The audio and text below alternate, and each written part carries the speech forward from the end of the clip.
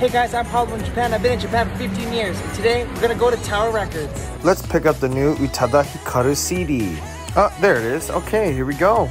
Alright, so I just found out a CD is $35, so fuck that.